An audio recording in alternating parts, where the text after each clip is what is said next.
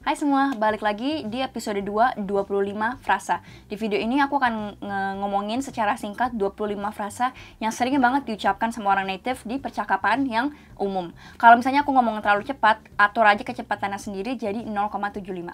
Without further ado, kita mulai aja. Kata pertama adalah What are you talking about? Jadi ini ini diucapkan ditanyakan saat kamu itu nggak tahu garis besar yang sedang um, dibicarakan kayak lo ngomongin tentang apaan sih gue nggak ngerti gitu. My first reaction was like, what are you talking about? What do you mean? He's a douchebag. Men feel that way about you as well. Where you're just like, what are you talking about? We're friends. Yang kedua adalah what do you mean? What do you mean? Ini maksudnya kayak gue ngerti lo ngomongin apa, kita lagi ngomongin apa, cuman gue nggak ngerti maksud yang lo bicarain di statement ini gitu. What do you mean? Maksud lo apa? Gitu. Because I was sad. What do you mean? Look. Serious, seriously, what did she mean by that? Especially you. Oh ya, buat kalian yang nggak tahu, aku ini punya online course di mana aku ngajarin kalian gimana cara belajar bahasa Inggris secara otodidak. Jadi di kelas ini aku ngajarin kalian gimana cara mencari-cari konten yang kalian suka dan belajar bahasa Inggris lewat konten tersebut. Jadi um, aku ngasih kalian cara gimana membuat belajar bahasa Inggris itu lebih seru dan lebih relevan dengan hidup kamu. Jadi bukan sekedar belajar bahasa Inggris dan aku ngasih kalian materi gitu. Kalau misalnya kalian pengen tahu lebih, kalian bisa ke website aku www.nailafarhana.com/course dan kalian bisa ngeliat semua informasi yang aku taruh di website itu. Kalau pengen cari tahu lebih. Let's go back to the video. Yang ketiga adalah I'd like to. Jadi um, dalam bahasa Indonesia ini artinya sama kayak I want, I'd like to, I want, kayak gue pengen, aku ingin gitu.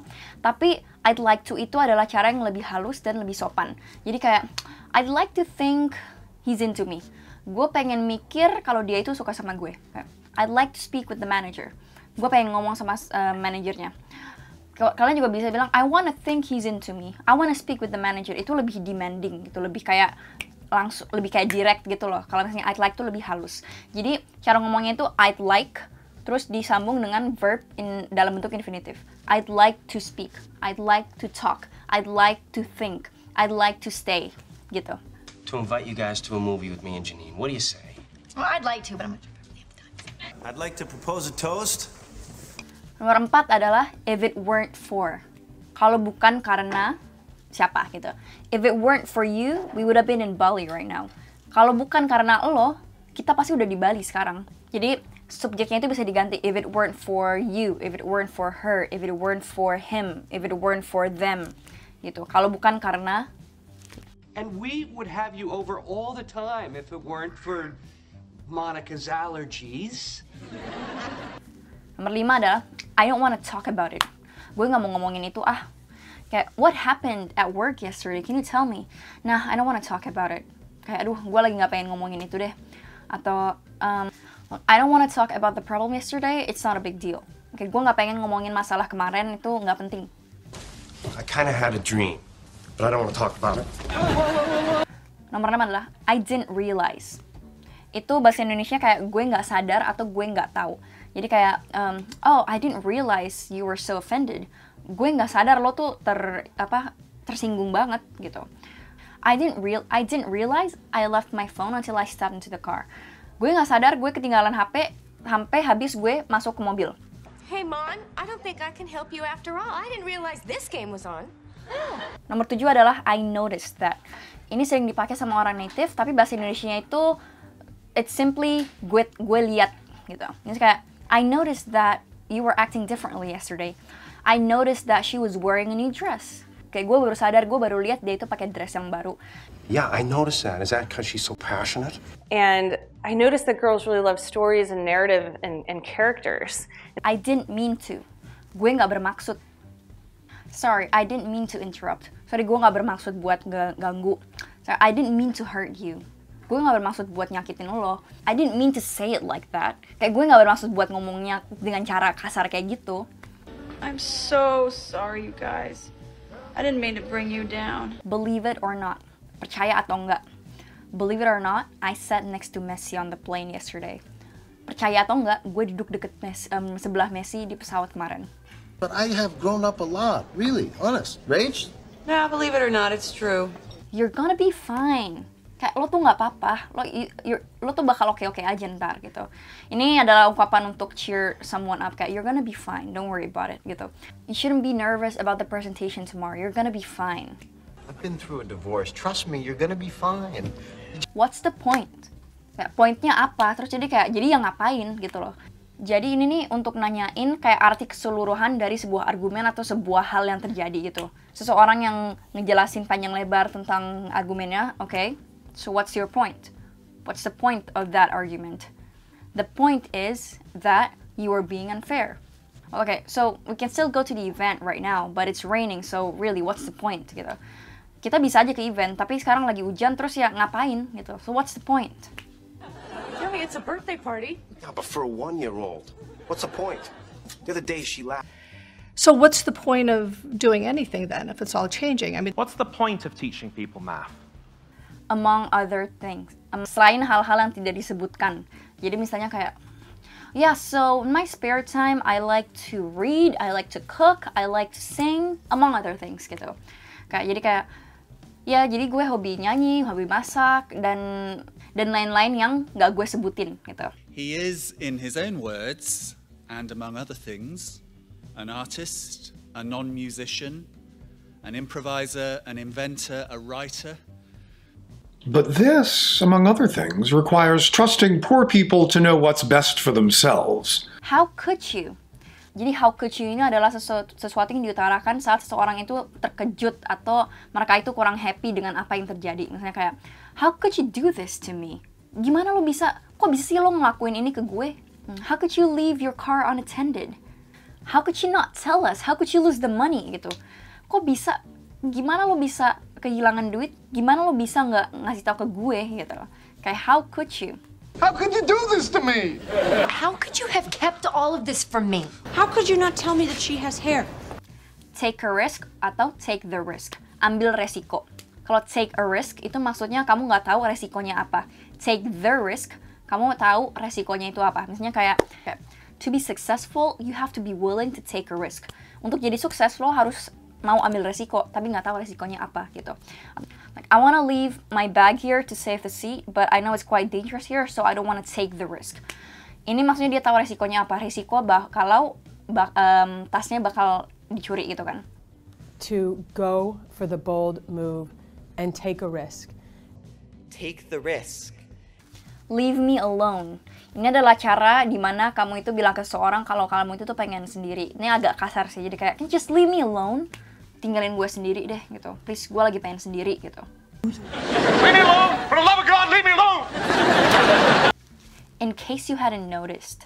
In case you hadn't noticed, itu adalah sesuatu yang kamu pakai, kamu utarakan em, untuk menjelaskan sesuatu yang mungkin lawan bicara kamu itu nggak sadar sedang terjadi gitu. Misalnya kayak, in case you hadn't noticed, I'm wearing yellow. Kalau misalnya lo emang belum sadar ya, nih gue pakai warna kuning gitu. In case you hadn't noticed, we're going through a recession right now. In case you're, um, you hadn't noticed, a lot of people are dying um, with the corona gitu kayak. Kalau misalnya lo nggak belum sadar hal ini ini terjadi gitu. Because I'm Greek, in case you hadn't noticed, this accent is for real. We've got a lot going on, uh, in case you hadn't noticed yet. Uh, lot- Take it easy. Jadi take it easy ini artinya dibawa santai aja, santai aja lah gitu. You know what? You've been working so hard lately, you have to take it easy. Lo tuh udah udah kerja keras banget belakangan ini, lo tuh harus santai dulu. Kayak lo lo take it easy aja lah, lo santai aja lah gitu. I have to learn to take it easy. Gue harus belajar untuk santai. Let's take it easy here and wait for the elevator. 14 adalah I can imagine. I can imagine. Ini di, adalah suatu respon yang natural biasanya saat kamu itu setuju den- dengan re- reaksi lawan bicara kamu. Bahasa, bahasa Indonesia tuh kayak, iya gue kebayang, gue bisa kebayang kok. I was so pissed to see my boyfriend with another woman. Yeah, I can imagine. Kayak gue sebel banget ngeliat cowok gue sama cewek lain. Iyalah kebayang gue gitu.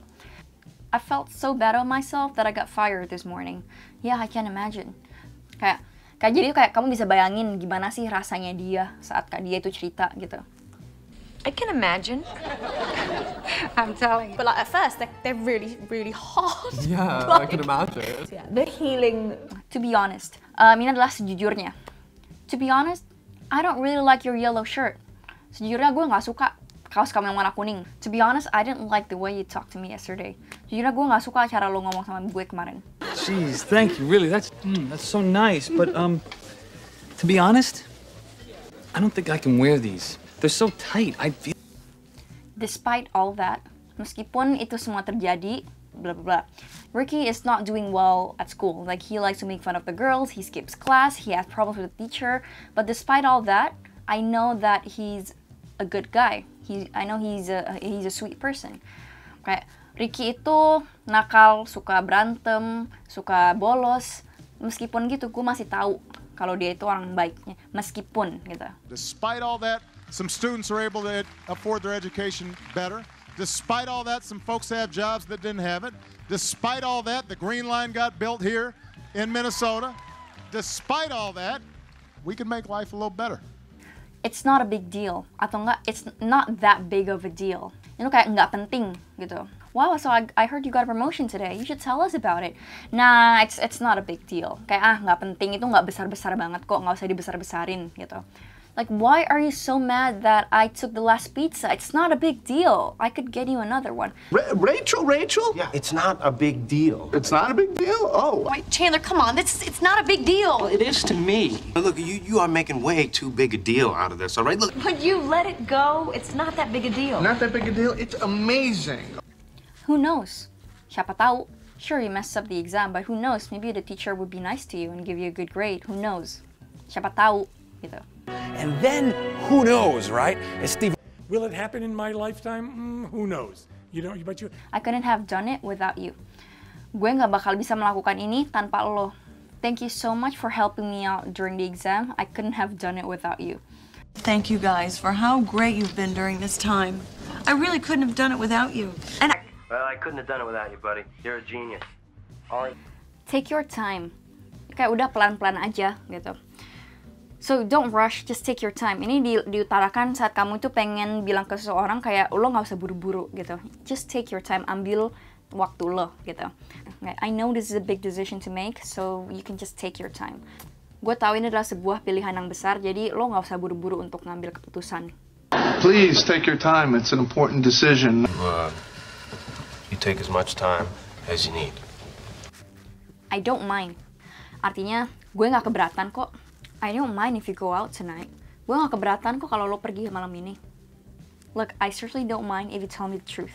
Gue nggak akan keberatan kalau lo jujur ke gue, gitu. You know, I don't mind a male nanny, but I do draw the line at male wet nurse. Calm down. Santai. Calm down itu beda dengan take it easy walaupun sama-sama santai. Calm down tuh kayak saat ada seseorang yang histerikal gitu, terus lo bilang ke dia, calm down. Kayak histerikal atau maksudnya kayak panik gitu, just calm down. Kayak udah lo tenang dulu aja, lo jangan panik. Kayak um, lo santai aja gitu, calm down. Damn it, Ross! Get your butt out of the bathroom! Calm down, I'm drying. Oke guys, itu aja 25 rasa buat di video ini. Mudah-mudahan kalian suka dan kita akan ketemu di ming- eh, video minggu depan. Bye-bye!